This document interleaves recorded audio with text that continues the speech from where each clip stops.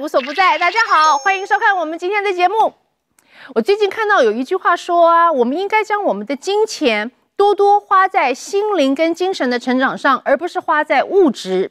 而这就让我们联想到说，对呀，其实现在很多的儿女呢，当他们希望能够孝顺父母的时候，他们不是买一样礼物，而是带他们出国旅游。哎，Lucky，Lucky，那 Lucky 好阿姨，那家长当然很高兴喽，爸爸妈妈辛苦了一辈子，终于儿女呢要带他们出去看看世界喽。但是你要知道。父母虽然我们很爱他们，他们也很为我们着想，可是他们的意见非常多，他们的顾虑也许多，他们不喜欢花钱，而且有些长辈或许他们行动上面会不太方便。所以今天在我们节目里，我们就要跟你分享，当你要带爸爸妈妈去旅行的时候，你要注意哪一些事项哦。有很很多很多很好玩的趣事，但是也有很多时候可能会有一点点小摩擦。所以带爸爸妈妈去旅行，你一定要仔细来看喽。让我们来转转发现爱。好，那现在为各位介绍一下，我们今天带爸妈去旅行的两位专家。首先介绍这一位是我们福大医学院老人照顾资源中心主任施以诺。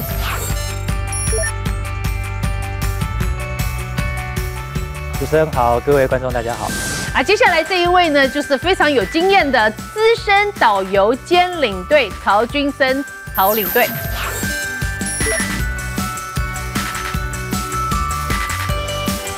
他们说，其实应该叫你导游，哎，曹导游哈，请驾鹤。接下来我们来欢迎的就是我们的亲子组了，就是呢，呃，儿女带父母出国的三组来宾。首先欢迎的是子玲跟子玲妈妈。主持人好，各位观众好。接下来欢迎的呢是我们的淑芬，还有她的公公淑芬公公、淑芬爸爸。哎，主持人好。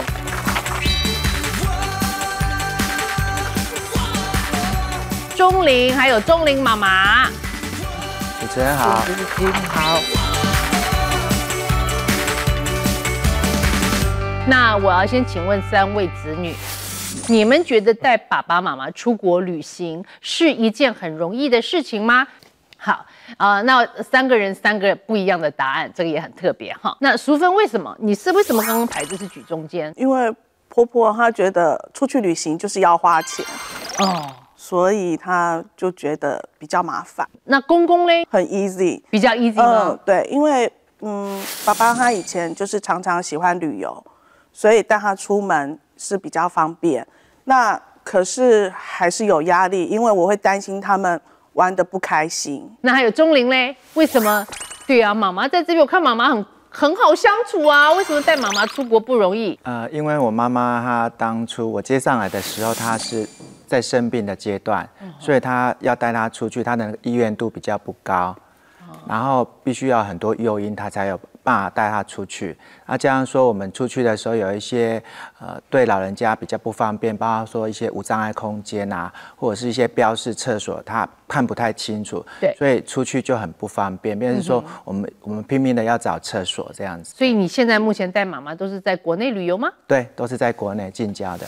你你带你妈妈出游过多少次？我们几乎是每个礼拜都出去。就屋好哎吼，孝顺啊，能宠爱被抓。那被刷好玩吗？好玩啊，很累的。喜欢去吗？我介意哈。好啦，钟玲听说还会用方法。对，鼓励妈妈，你怎么鼓励？呃，像我们去爬山的话，我们就是会有一些诱因嘛。那我常常会跟他讲说，哦，我们今天去参加一个郊游，然后那个郊游的那个地方，最后我们会有一个一千块的红包，或者是我们有五百块的奖金，然后或者是今天去有餐盒，然后他就会比较意。有意愿跟我出来这样子，妈妈觉得这个跟去上班一样，对他们工作要对他们会比较节俭啊。假设说出门有钱赚的话，他们会比较愿意跟我们出去出门。你真的很孝顺啊，可是我就爱钱的对吧？啊，阿母就爱钱，我嘛就爱钱啊。对，不爱钱的请举手。阿伯，大家就爱钱啦，不要担心，很正常。那妈妈到目前赚了多少钱？嗯，赚的钱都存在我这边。哦，真的吗？大概有多少？有上万了吧？很多钱了。他现，因为他现在也在上班，所以存的钱都存在我这边。一共伊个伊的就是伊的，我的就是伊的啦。儿子都马安内啦，小孩子的这是很幸福的奶奶呢。对呀，那我们看看子玲妈妈，听说子玲妈妈您你们是有三代一起去旅游，是，所以你也是一个女儿的角色。嗯，带妈妈去旅游，我们是很高很高兴带她去，然后带她去就是不方便，就是她她之前有开刀，脚有开刀过，是。是，然后就是说有时候她比较会常常跑厕所，有时候还会来不及。对，那有一次刚好有一次我们去那个普吉，然后是很多年前，然后我们就坐那个小船游河嘛，嗯，然后刚好他他在床上很急，我说那怎么办？很急怎么办？又不能在床上跟人家这样子，不好意思。后来我刚好身上有带那个塑胶袋，我带塑胶袋就让他说，我们就我们刚好那一团八个人去，孙子啊、儿子啊、女儿全部都去，然后就是把他围起来，让他在那边尿尿，然后尿完之后，我们就把那个塑胶袋解打起来。打起来对，然后没没过多久就说，哦，怎么这边有一个冬瓜茶？那其实听起来也还是蛮有趣味的啦。是啊，淑芬公公跟儿女出去玩好玩嘛？应该还好，还还还好，还不错了。你们去过哪些地方？呃，日本啊、韩国的比我自己出出去的比较多了。哦，所以这样说起来的话，跟儿女出国只是偶尔，你自己、呃您自己平常也蛮频繁去就就就是有喜欢说去啊，刚大家刚好哎有一个暑假还是寒假，啊就一起出去了。自己旅游比较轻松，还是跟儿女他们帮你精心安排了比较轻松？跟小孩子玩，有小孩子的一起全家的乐趣不一样啊，啊跟老朋友去出去又有不一样。是有时候自己自助旅行去找朋友，嗯，感受都不一样。那您您最喜欢哪些地方？喜欢是因为年纪的问题，就是日本，因为我爸爸都会讲日语啊从小就上面听日本，还有就是日本比较常去泡温泉啊，还是说日本料理啊，哦，都都都有，都有哈，而且地方也比较近嘛，而且那个风景也不错了。风景很美。对，有其实很多长辈就是在换季的时候去看樱对对，花像啦像，北海道对对对对对对，春夏这个那个风景都不一样很。漂亮。那我们来问我们两位专家了，就是啊，呃，施主任，您本身也有带父母出国旅游的经验，诶，我们家的情况比较特别，因为我爸爸他大概十多年来，他去年过世嘛，他大概十多年来，他必须要靠呼吸机才能够生活，所以大概我只有带我妈妈出去旅游的经验。嗯哼，那大概去台湾走一走，也曾经去过香港，那以你自己的感觉，你觉得简单呃轻松吗？嗯，还可以耶，对还可以，还还可以 OK 啊。好，那接下来就是我们最有资历的、最有对，不但过带自己的父母，也帮很多人一起带他们的父母出国的哈。那请导游跟我们分享一下，就是啊、您带父母出国旅游的经验。呃，因为我住在台北啊，爸妈都他们住在老家高雄。是那有一次呢，因为我父亲呃就是陪我爸爸妈妈回老家寄住，所有的行程都是玩牌，但是呢，在整个过程当中，只要我爸爸开口，我都说 yes，、因为那是他的地盘，那不是我的地盘，他熟，哦啊，但是所有的旅馆我熟，那剩下的啊，这个该付钱的就付了嘛。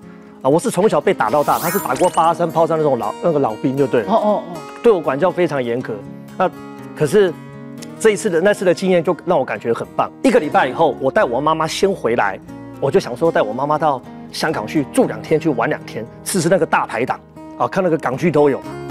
可是后来那两天呢，我我就很深深的感受到我妈妈跟呃跟我讲了一句话，我我我母亲就说：“儿子啊，其实你不要带我到那么远的地方玩，你只要回高雄陪陪我就可以了。”其实我听了也蛮难过的，代表我很少回家，所以我觉得带父母亲出来呢，就你就把他当做孩子就好了。你以前怎么对待你的孩子，你现在就对待你怎么对待你的父母。老小老小，我们不能够就是忽视父母，他们会老，然后他们其实会慢慢慢慢变得比较坚持，可是他们有的时候真的有时候像个小孩，是，对啊，所以你父亲只是旁敲侧击告诉你要常常回高雄，哎你有吗？现在、呃，有啦，我想的我想的蛮心虚的，是。爸，对不起。不会不会，只要有心就好，永远都来得及，快点回去是。看看他哈。那刚刚嗯，钟玲有讲，就是带妈妈在国内旅游，有的时候那个无障碍空间让你发现真的很不方便。那所以如果我们今天去的一些地方，真的你也都不能期待有这样的一个设备的时候，没有，那我们可以在家里怎么为长辈做准备？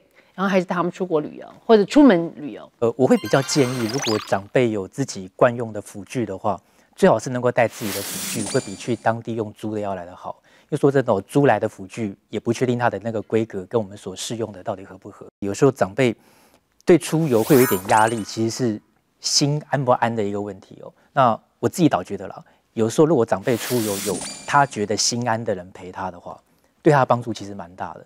那他觉得心不心安，平常心讲的时候也还是蛮主观的哦。像我曾经碰过有一些医护人员，他们的父母亲并不见得觉得他们的子女，即便是医护人员陪他们出去，他们会心安。可是我们都会觉得医护人员应该是蛮有专业的最对啊专业的这种身份嘛。可是对对老人家来讲，他搞不好觉得他的某一个朋友，或是觉得某一个另外一个亲人陪他，相对的他会变得比较心安哦。所以其实这个也很难讲有对错的问题。但是如果有心安的人陪同的话，通常玩的也会比较愉快。像钟玲妈妈讲，就是不太容易找到洗手间。导游这边可以给我们一点建议吗？就是或者是你应该也有很多找厕所的经验了哈。我我我这边讲一个状况，让大家去回去想象一下。好，各位爸爸妈妈，以前你们在我们在养小孩的时候，譬如说小孩在三岁、四岁、五岁的时候，他要不要尿尿，你有的时候完全抓不住。嗯有的时候忽然就跟你讲说我要尿尿啊，这这里这里就没有厕所啊，所以呢，那你你你您可能会在某一个景点要离开的时候，会逼他去尿尿。那你把这个状况搬到爸爸那边去，你就认为你要你要想说爸爸妈妈有的时候他也会忘记，就把他当做小孩子一样。就先去一下。对我现在讲的是预防的方式，嗯预防啦。嗯哼，好，那你在每一个国家的厕所表达方式不一样。譬如说，呃，在西方，呃，在譬如说在澳洲、纽西兰叫做 toilet 嘛，就是叫马桶；在加拿大叫 washing room，洗手间，哎，又不一样。啊，但是不同的，但是相同的一个标示就是一个男生一个女生嘛，那是相同的标示就对了。那如果你到了欧洲其他的国家的话，如果在没有把握的话，能能够在去之前能够查一下字典，反正现在的网络都很发达嘛，能够查一下会比较好。所以我觉得厕所方面要预防的话，就是从这个景点要搬到另外一个景点的时候，无论如何都要去上厕所。嗯哼，所以有厕所的时候就要上，就是不要说凭我的感觉了，就是配合当地有就先对去用一下。另外还有就是学会讲嘛，对像刚刚你讲，就是说在澳洲他们讲的是 toilet，对，到加拿大讲的是 washroom，那在美国通常讲的是 bathroom 或者是 ladies room。那我们听听看，子琳跟子琳妈妈，你们去过哪些地方？有带过妈妈到韩国跟日本，这是我们穿韩服的照片。传统韩式韩国服饰。对那那一次旅游有什么好玩的事情？我因为我知道说，因为会有很多家的家人，他们都会一起一起同时试穿。对于是我就跑第一个，我就跟妈妈还有阿姨讲说，快点快点，我们要赶快冲第一个进去穿。后来我是第一个进去穿，最后一个出来，为什么？因为我穿了三套。哦，你换了这么多套，对，一直拍照，一直拍照。对，后来就是在中途当中，就是我阿姨，就是他们那时候穿穿韩服穿很久，一走出来的时候，因为她的头是戴反的，穿的乱七八糟，不太会穿啊，出来就满身满满满脸的汗，我们都大家都笑翻了，说哦，其实不好笑，其实看到他就很好笑。对啊，做韩国古人很辛苦的，嗯，穿那么多衣服。那另外一个行程就是去日本，是日本，妈妈觉得去日本好玩吗？跟他他他旅游跟我们跟我们跟我们的这边台湾的旅游是差不多一样，都中间都有一个停点，然后要下次让你买什么，或是观光景点这样。啊，那就刚要回来的途中，就到一个那个那个小活动中心，对然后我们下车，每个导游就分分了一个每个人一个袋子，他带我们到一个那个完全都是农产品的一个摊位。嗯哼，他说：“你们尽量装，把那个袋子全部都装满，就是你们的。哇，对呀、这么我们都好好，高兴，每个人拿一一直塞，一直塞。他们一直猛塞，一直猛塞，嗯，于是回去的时候就很辛苦。塞那么多呢？对啊哪里吃得完？后来就到我女儿的宿舍去煮。哦对对对，那这个北海道看起来也很好玩呐。，对，所以是北这一次去北海最近的是北海道的。这个是穿着和服要去洗三温暖，啊，我妈妈就完全不愿意穿穿上身，她说穿上身好老哦。反正她黑色她东西她都，一黑色衣服她完全不穿。好可爱哦。所以你她为了造型要漂亮，她不要穿黑色的。我妈很爱漂亮。有有有有有对啊那好啊，爱漂亮的妈妈代表她很健康，对对一定是。所以这一次的话就是哇，这六位都是你们家人，对，这是这是女儿，她是我妹妹，两个妹妹，还有我两个女儿，还有我妈。那大家就坦诚相见一起洗。嗯，那妈妈也 OK，妈妈没去，她说我好累，我想睡觉。拍完照她就回去休息了。对对对，哦，这个好演艺人员的感觉哦，这是明星都这样，拍完了就回去先休息。对呀、那那个子琳，那所以到目前为止出国的经验都是好的。好的，可以跟妈妈一起相聚的时间，我觉得我很珍惜。嗯哼，对。那接下来看淑芬，你们的旅游，你们去哪里？嗯、我们去过韩国跟日本。哇，后面是下雪，对不对？呃，我们是冬天室内的滑雪场，是夏天，那这次的行行程好玩，有没有好玩的趣事嗯分享？也是跟子怡一样，也是换韩服的时候，哎，然后可是爸爸他很爱呆玩，所以他都不穿韩服。可是呢，他很绅士哦，他都在外面等。然后呃，妈妈就照得很开心，嗯嗯嗯因为她第一次穿韩服。爸爸是穿韩服跟跟爱国 有不好很好。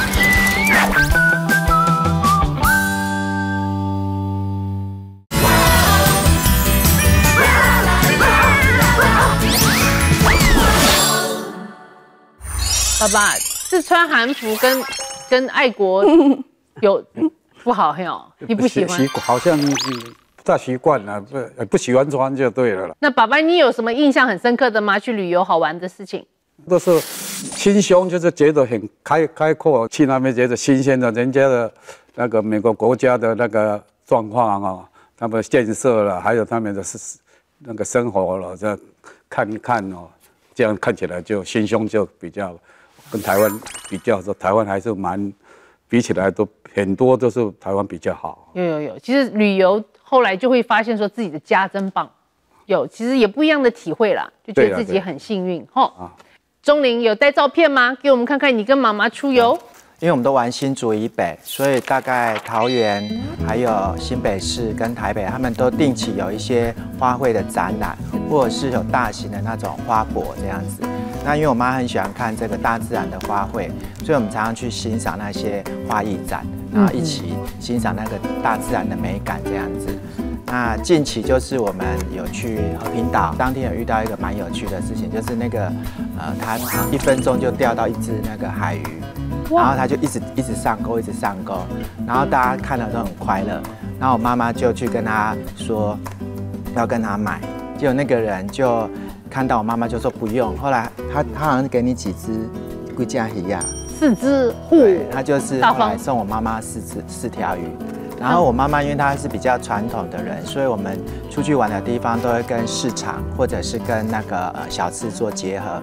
然后像我们上上上周我们有去板桥林家花园，那就是因为它旁边有菜市场，然后也有小吃，然后接下来吃饱以后可以到林家花园里面板桥林家花园逛一逛，然后里面都有一些呃一些古典的那些语汇，我也帮他做一些介绍这样子。其实各位儿女带父母出门以前，都大概也有摸清楚父母喜欢什么，哦，也要按针对他们的喜好做安排，比较不容易出差错。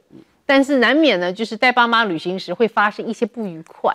那这是我们做了一个资料的整理，不代表是现场的几位哦。那我们一起来看一下，好不好？那这边第一项是行程的规划，其实我觉得每个人对旅游的期待可能会差蛮多的、哦对。有的人他可能觉得旅游希望是一种放松，就要出去就完全是一个放松的一种行程啊。有的人旅游他希望能够多一点刺激或是一点欢乐，嗯哼。啊，也有的人旅游他觉得我不见得要去哪里玩，我只要跟我想要聚的人能够聚在一起就好。所以当他期待不一样的时候，他对于那个行程上面的那个安排可能就会有不一样的那个期待落差出来。这个我的印象中就是有，就是其实有些时候父母就觉得哈，都出国了，我们就在一个地方待着。比方说啊，小孩子啊，我们大家就周可能就去某个沙滩海边，然后就在那边坐个五天，父母就很快乐，海风吹吹，然后太阳晒晒，到了晚上一起吃饭。可是儿女就觉得不行，我好不容易来到这个异地这个国家，我一定要钱花在刀口上，我要去看遍所有地方，拍完所有照片，回家再慢慢一张张欣赏。好，这就是可能一些观念不同。第二，住宿安排，住宿安排的话，当然每一个人的习惯可能会有点差异。有的人他可能会希望说，我住宿就跟子女最好能够住在一起。那有的人可能会觉得稍微有一点点距离会比较好，是所以就会形成这一代这一方面的一个期待的不同好。像子玲曾经有住宿安排上面小插曲，因为住宿当时是我阿姨安排的，那时候订那间民宿是在网络上看到，它是它可以看到晴空塔。于是乎，我们到那边的时候也找了很久，找到了那个地方，发现说它是一个铁皮屋啊，而且还要爬到三楼。哇！那时候我们梯很窄，那楼梯很窄，我们两个人一起扛行李上去。李才可以对，而且长辈也不方便啊、那时候我妈没有去，只有我还好对还好。我妹妹还有她同学还有我们，对，那怎么办？看到的时候落差太大，后来就下次就说不要省这些钱，要住好一点的。有不开心吗？当下有不开心，可是之后就没有了。嗯那，淑芬嘞，你在安排住宿，住宿方面的话，因为妈妈的那个膝盖比较不方便，所以我就是尽量会安排在呃捷运站附近，大概走路大概一两分钟、三分钟之内这样子。呃，如果像爸爸喜欢去日本，那我就尽量找商旅，就是那种洋式的，不要就是不找那个合适的，因为榻榻米起来他们比较不方方便便，对所以我就会针对这两点为重点下去找。到目前为止都很成功，对都有符合公婆喜欢的感觉。来，三不愉快的原因，迟到迷路跟走失。在澳在澳大利亚，呃，客人迷路的状况大概三团就有一团，三团就有一团的某一个到两个客人会迷路。有迷路的，那我第一个去问他的家属或他或我们其他团员的或其他团员问他有没有手机。对，如果他有手机，他有没有网络？嗯哼，哦，有网络，那就我们赶快打嘛。那基本上十个里面有七个会没有，会没有开机，因为在在澳洲网络并不便宜啊。对，哦，所以漫游很贵那那个时候呢，我会请呃在座的所有的，就是说呃征求大概五到七位的呃旅客团友，而且是男生，我会问说谁比较不会路痴的举手。那你愿意帮助我吗？好，十分钟我们开始去找，十分钟十分钟找不到回来，原点原点就是就回到游览车，因为我们都在游览车上点名嘛哦在旁边等对以十分钟为主，因为我怕有些人找不到，还在继续找继续找，反正十分钟找不到你就回来了。本来丢一个，后来丢十个嘛，基本上都找得回来啦，有基本上都找得回来都没有问题啦。是子琳，你们出国有人迟到吗？上次去北海道的时候，因为妈妈带外婆到那个一间那个药部药化妆品品药哦药部就是对我们对对对停留小樽停留太久了，回来要买药已经有时间有点 delay。后来因为那时候外婆不方便，后来妈妈就是推着行李，呃，那个轮椅轮椅大家过去那边买。后来就是因为买很久，我那时候已经先上车了，全部车上的人都在等他们。后来我会觉得非常不好意思。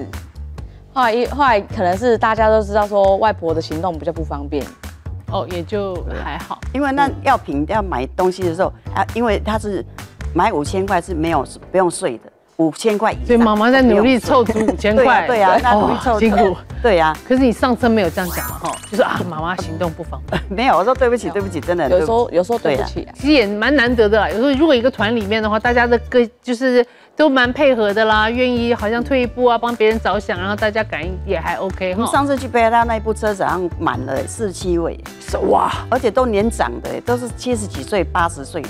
所以其实如果带父母出国的话，也可以考虑喽。或许这个团里面大家年龄比较接近，作息啊、动作的速度各方面互相配合。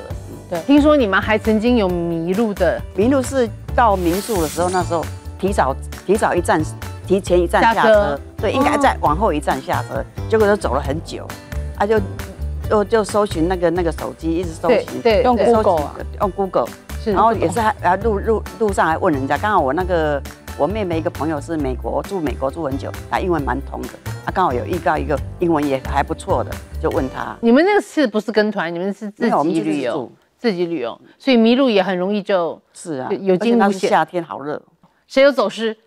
钟林有，然后那个好像淑芬也有。嗯，那淑芬先说，你是要从迟到迷路还是走失？嗯，迷路。好，迷路过。对，妈妈就是我们去洗三温暖的时候，洗汗蒸木的时候去韩国，然后结果我就因为就自己就各自分开，我们就自己处理嘛。然后结果后来我就先出来了，那我不知道妈妈还在里面，结果妈妈就找不到出口了。然后后来我就跟小朋友讲说，你在外面等，然后请爸爸再照顾。公然后我们我就，其实妈妈自己那时候当时她很紧张，然后就是也就是小鹿乱撞这样子到处去，然后我们就下去，就是一间一间一间一间去找。然后那时候其实紧张过多于责备啊，其实小孩子已经翻白眼翻到后脑勺去了。可是后来因为这件事情之后，我现在知道说哦，带爸爸妈妈出去，我会牵着他的手，然后到新的环境，我会跟他讲厕所在哪里，出口在哪里，让他比较放心。嗯哼，钟林，哦，我们那一次是我们去板桥，那我就跟我妈妈说，我们家住在什么地方，请她记得那一条路。嗯，然后她就说，你不要跟我讲那么多，我记不起来。后来她就她就到板桥，我们就吃饱，就是在黄石市场吃完东西后，我们就开始骑摩托车，然后我们就要跟着跟着我的后面，然后回到我们住的地方。就她跟了两个红绿灯以后，他就不见了。啊，你呢你要不要讲一下？妈妈去哪里？啊怎么会不啊，见？迄个路安尼吼，啊一个徛这边，啊一个徛这边安尼。对啊，那你给他这边，你就给这边哦。你想说，我想摆脱你很久了。没有，他就是他 他就是他不记得我们家住什么路，所以他妈妈他忘了在板桥的一个一个十字路口他，会记得啦啦。啊，我就甲讲，我都不爱甲讲，我会记住，我我唔知。他就在板桥的一个十字路口就就就迷失了这样子。对。然后我就骑了另外一条路回家，然后我发现他没有跟来，我就发现这个他应该已经不见了。然后我有一个习惯，就是我出门会跟他拍照，因为那个是我们去一个知识团体，就是出门一定要先拍照。然后家里面有一个那个电脑排版排好了，就是随时有有什么状况，他可以做是张贴这样子。然后过来他就他就从啊板桥，然后沿途问问到土城，问到三峡，问到莺歌，然后再问到桃园。然后我们是早上九点，然后他他，然后我大概已经回家准备好那个资料要去报警了。对，结果他就下午三点就忽然间就进回来了回来了。然后我就想说你好厉害哦，然后他就讲那个过程给我听，我就笑翻了，我就觉得这太有经验了。所以也就是这样子，我们接下来就去那个呃做指纹按捺，然后每次就是我跟他说，你只要不见，你就是先去找警察局。嗯，然后假设在捷运上或火车不见的话，因为车多人多的话，那你就去找服务台，因为他不记得我的电话，对，所以我就会教导他一些，万一迷失的话，你应该怎么办，那他才会他才不会不见。然后他就跟我说他他他会去找服务台，去找警察这样子，对。啊，不过我迄天拢无看到警察啦，我拢问做生意人，问讲到底到底安尼。对啊，人个做生意人话拢介好啊。伊讲我带你，我带你弄这磅空，我我甲你比你毋知影，我带你弄这磅空，啊，你都若为倒手边就为莺歌，啊，你就爱为正手边，那为头营路去，我讲哦哦，安尼啊，我就直接徛到厝啊。我所以妈妈讲的没错了，有警察就找警察，如果没有马上看到警察，路人呐、啊哈、其实有很多人，啊，嘿啊。啊，无我就叫警察来坐我转呀。对有警察就专车送回家了，可是没有的话，就有很多热心的人士，嘿啊，你这边走那边右转那样的，对啊，无看我得安尼，一直问一直问，啊，人我拢介好嘛，我有带你，对啊。哎，坐你到车头。那现在现在我妈妈出门会有一个吊牌，那吊牌上面有我的联络电话，就是方便跟问人路路人问电话，然后打电话给我这样子。是啊，对对啊，即摆就较熟啊，就袂碰见。熟熟没有说不熟啦，只是那个嘿，钟玲她就觉得说这样子的话，对啊，她会更放心啦，对啊，对啊，妈妈人缘那么好，对不对？吼，那个性真的很棒哎，妈妈，对啊，她个性很好，对。很好，对对对。可是这个也就是我们可以帮老人家先安排一些对，带他出门要记得迷路真的不好，走丢了更不好，是还是要把他找回来，有方法的哈。我可以讲一个，就是有一次，就是刚刚导游有讲，就是如果如果要出去找人的话，要记得回到原点的这个概念。那曾经也是我有听过，就是啊、几个他们出出国，然后后来去挤捷运，那那时候那个当时那一班捷运非常满，然后就会好多人就会有一点点这里挤来那里挤去，就有点点走失。而且有几个上车了，有几个没上，然后你就眼看着那个门关了，关了以后他这样子，然后就说，就这样走掉了。可是他们很有默契，他们后来就是在到那一站，然后再坐回来到原点，然后大家又聚到又碰到面这样子哈。听似简单，但是其实当下要冷静，要不然就要像钟玲妈妈这样人缘好，到处问一问。好，好的，接下来就是喜好不同，跟爸妈旅游的时候，父母有的时候也比较坚持自己喜欢什么，不太配合。子琳有发生这样的事情吗？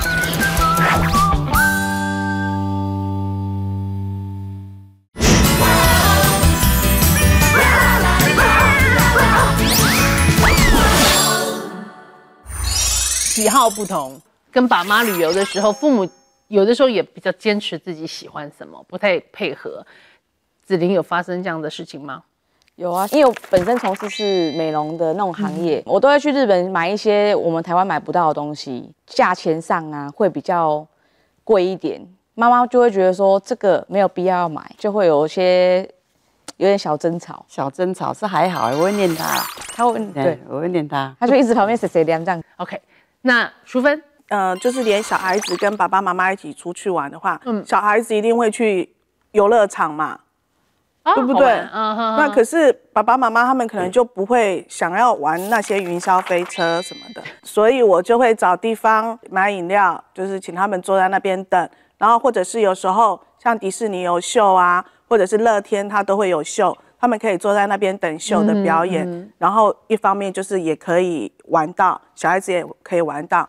那像拍照，刚刚爸爸也讲说他不喜欢拍照，那个冬季恋歌摆 pose 那个是你们家吗？，对我那时候家，请公公，请我爸爸说当裴勇俊跟那个妈妈当那个，都因为他在那个南南怡岛那边都已经有雕像，都已经摆在那边，一个这样子靠你只要站着那个姿势拍就可以了。可是他们都不要，不愿意。嗯爸爸，你有看那个韩国连续剧没？有看过啊？有看过。啊，所以那个地方就还要坐船过去。个性比较不喜欢说，他我喜欢这样看 看东看西的，就是这样子。可是跟跟那个小孩子拍就啊，好了，假？如跟小孩孙子一，你就很开心那就对不一样。是吧？做爷爷的大概就是喜欢，哎呀，孙子来拍照，大概年纪不大的，他也喜欢，又有一点女生，又有一点奶奶的，哦，还有 pose 摆的，就觉得看起来喜欢。啊，所以说，如果跟孙女摆 pose 就 OK。就就愿意跟就就跟老伴就就不对啊，要拍 pose 觉得好玩，那就就比较比较拍一下。所以个性不一样，当然喜好一定也不一样，有也有有了解了解。啊。冬季恋歌就没拍成，就对。对就没有拍成，只有换我跟我先生拍。很好啊第五项是购物，因为 shopping 花钱的方法发生不愉快。刚刚子玲有讲嘛，你想买指甲油，什么妈妈说不要，有到吵架吗？他会觉得说那个东西我有了，不需要再买了。嗯哼那你就听话就不买了吗？没有，像购物的部分，其实像我们家的家里的人啊，其实平常都很喜欢买东西。那我们买东西不是都是会买一点点，我们都是买一箱一箱的。还有就是像说之前去韩国的时候，会去逛那个药妆那个彩妆店嘛，还有那种就是买到送行李箱，就是买到送行李箱对老板都看不过去了，他你需要一个一万五新的行李箱。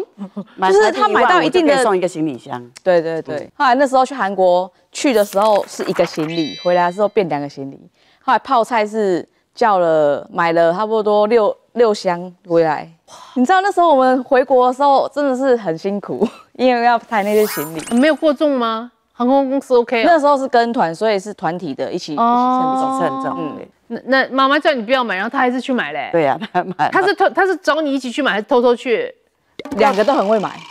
哦，分开买，对对，各买各的。对，嗯淑芬爱逛街购物，嗯嗯，对对。正常，因为女孩子都爱，没办法。你喜欢买什么？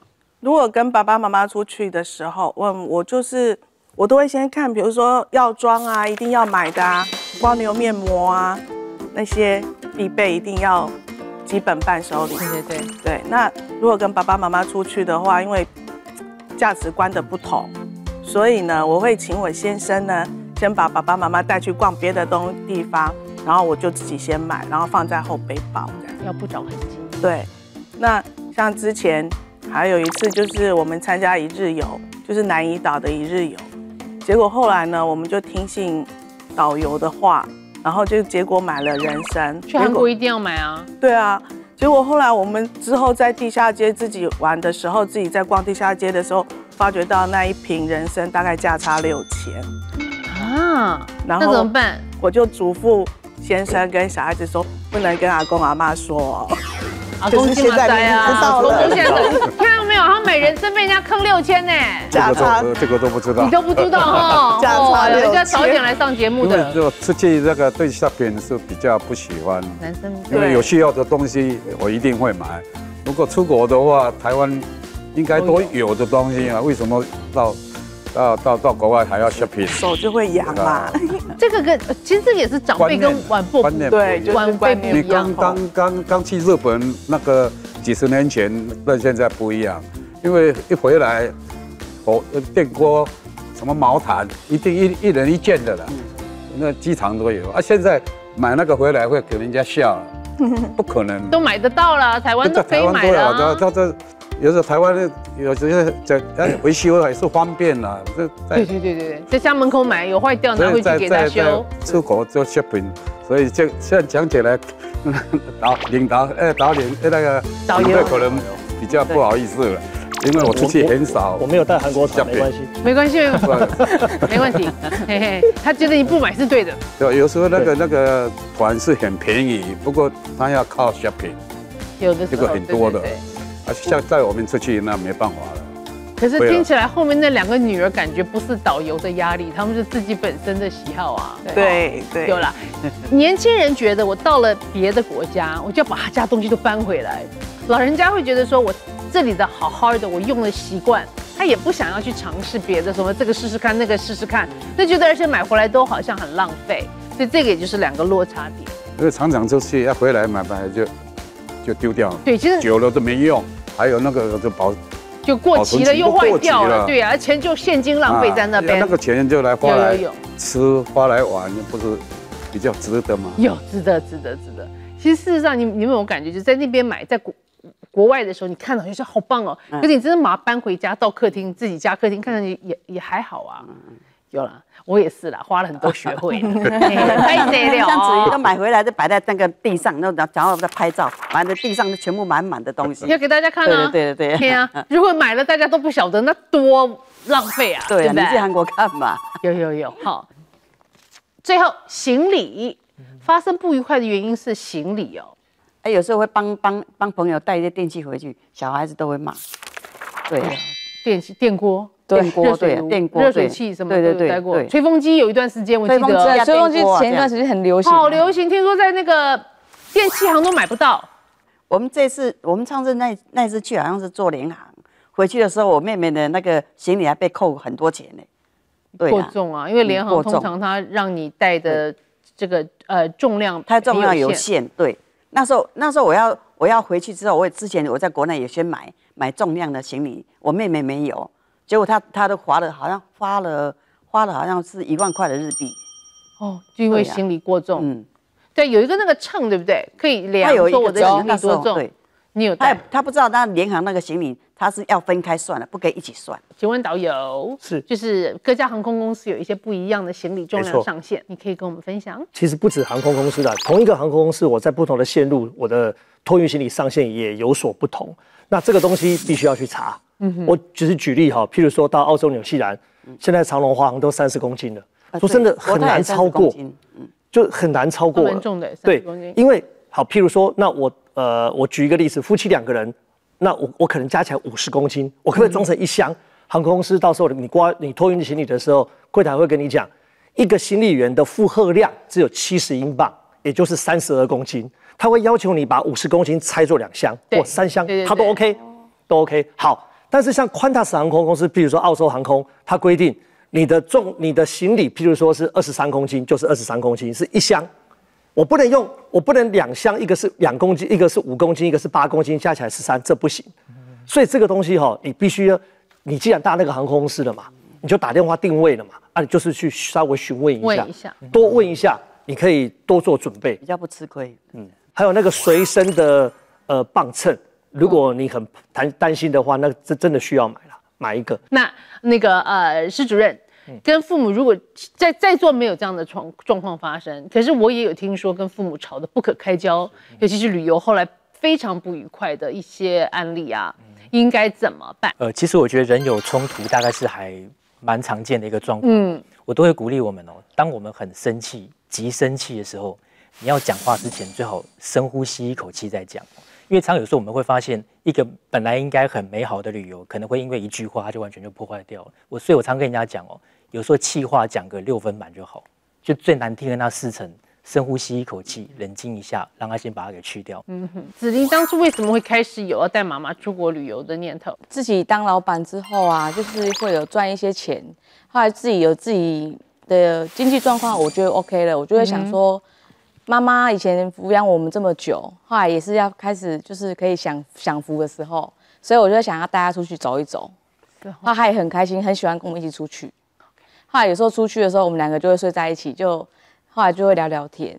我觉得一起脱光光洗温泉的感觉更棒。对呀、哦，我们还可以欣赏别人的身材很有吗？有吗？有啊 哦，就是那种亲子的时间，对啊，无价无价，真的哦那淑芬呢？哦，我是因为先生在航空公司上班，所以那个配配偶跟直系血亲都会每一年都会有一张免费的机票，就是想要每年都带他们出去玩，然后甚至环游世界。对呀、现在目前可以增加夫妻之间的感情跟公公婆婆之间的感情。这个媳妇别拜为什么？还可以哦，啊，你客气啦，嘿。那钟玲嘞？我大概是因为我爸爸过世，就是五年前过世以后，然后我就开始比较多的时间陪我妈妈出去玩，然后过一种比较慢活的那种日子。然后因为其实我爸爸非常喜欢玩，可是他们两个常常沟通不良，所以一般都是两个就是分道扬镳这样子。然后到了桃园这边跟我住了以后，我想说，哎，其实就是说现在的膝盖还可以走，我就希望说趁膝盖可以走的时候，就是多走动，然后多留两翼，也就是说回忆跟记忆这样子。施主任，请问这个亲子共有好处是什么？其实亲子共有的好处应该蛮多的、哦，理论上至少最少的一个基本的好处是，它可以让我们彼此之间感情会变得更好，理论上是。但是我觉得有一个前提哦，就如果家人出游之前，我们之前出游前才曾经为某一件事情有过非常不愉快的一个争执的话，最好把那件事情稍微讲开一点点，在一起出游，那个感觉会比较不一样哦。为为什么呢？因为当你对一个人存有某一种芥蒂，或是存有某一种情绪的时候，你很容易会把那个人的缺点给无限的放大，因为你还在情绪当中嘛。那偏偏你出去旅游的时候，其实是二十四小时很密集的这样相处哦，我们可以看到对方的缺点会太多了。这时候其实看在我们眼中可能都是缺点的时候，那个其实大概互动起来就不会太愉快。所以假设我们出游之前才因为某一件事情曾经闹得非常不愉快哦，最好那一件事情稍微有一点点讲开来，然后再出去旅游，相对的那个旅游品质会变得比较好这。建议非常好哎。导游，请问带父母出去，尤其是父母比较年长的，我们有哪些注意事项？第一个旅游形态的规划，其实刚刚呃来宾啊，呃还有主任他们也讲了很多了。一个是跟团体，一个是自己。那这这个真的是，如果是你跟团体的话，基本上就交给团。那团呢是什么样的团？不是每一个团都适合全世界每一个人，那就必须要根据他的个性来去做判别。没有一个人比你更了解你的家长，所以不是由旅行社帮你决定，是你帮你的家长决定，或者你的家长替自己来做决定，这样才对。那第二个呢，旅游保险的购买，我觉得这是一定要买了。第三个，交通工具的安排，呃，我在这边带了一些道具，像这个哈，嗯我垫在这个椅子上，哎，这样坐下去，你的尾椎中有一个地方可以舒展，哦，你会觉得非常舒服。不管你怎么变，哎，这样都很舒服。有的人说，曹先生，那我我想要这样做，但是我这已经在飞机上，我没有买这些东西怎么办？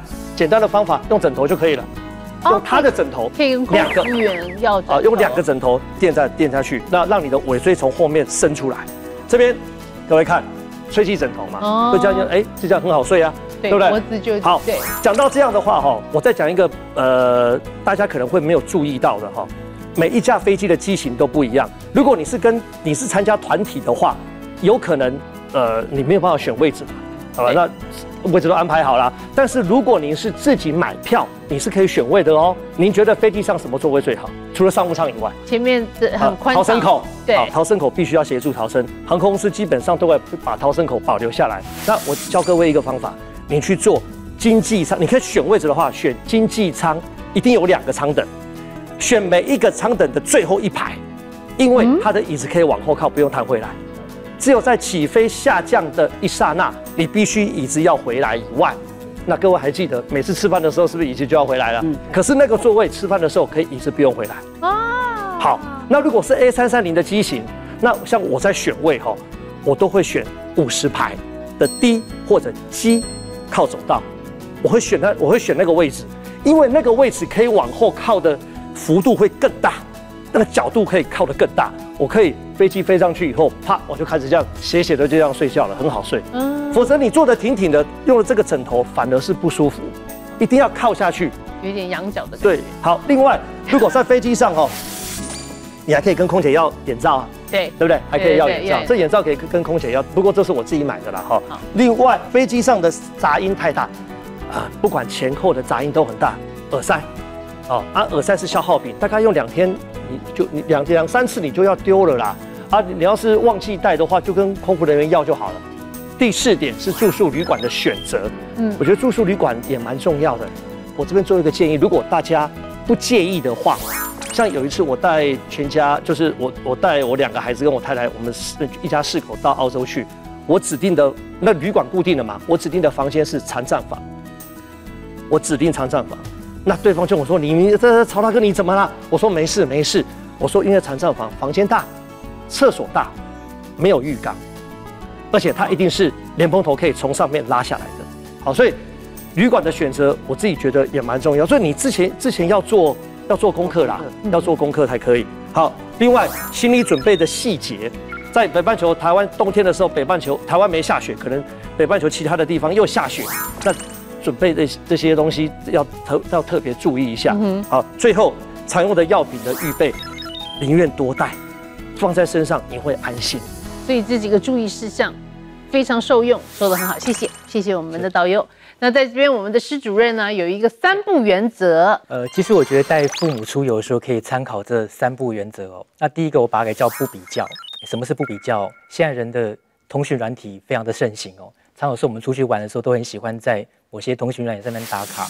我们看到会觉得很羡慕，哎，有的人带他的父母亲去，看起来好像一个还蛮不错的地方去玩哦，哎，那我也要这么做来讨我的父母亲开心。对其实有时候这种东西是不用拿来比较的。我举个例子哦，可能对父母亲来讲，哎，你很开心的带他出出游，即便去，比方说去台湾去碧潭，玩得很开心的话，可能比不开心的去西湖都还要来得好很多。所以这一部分不用去跟人家比较，说我们一定要去到哪一些景点哦。第二个，我把它给叫不勉强。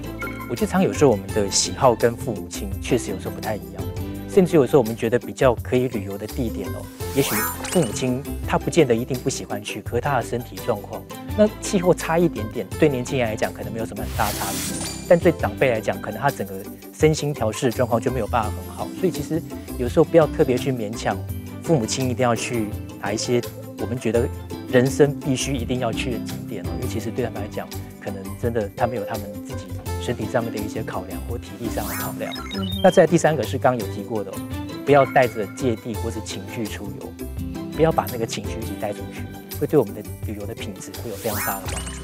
那今天我们聊到的话题是带父母出游，去国外旅游也好，在国内旅游也好，那有很多的经验谈，希望大家能够受用。但是同时，虽然我们聊到就是好像带父母出国跟带小孩一样，可是小孩毕竟他是听我们的安排，然后就跟着走。那父母其实已经有他们自己的一些喜好等等，那你是他们的儿女，你也应该知道父母啊，他们大概会比较偏好哪一些，然后跟他们沟通之后啊，我们专家也都教了一些方法，所以原则上应该是快快乐乐出门，平平安安回家，然后留了很多很很多很美好的回忆。那也希望每一位啊，不论你是否有时间或者是有金钱可以陪伴父母出国旅游。你要记得，其实啊，他们在身边的话，常常回家陪陪他们，也是一个对他们来说最好的陪伴，也是最佳的理由，好吗？祝福大家每一位，谢谢专家，谢谢来宾，谢谢。谢谢长辈们，谢谢你们。那我们转转发现爱，下次再见喽，拜拜。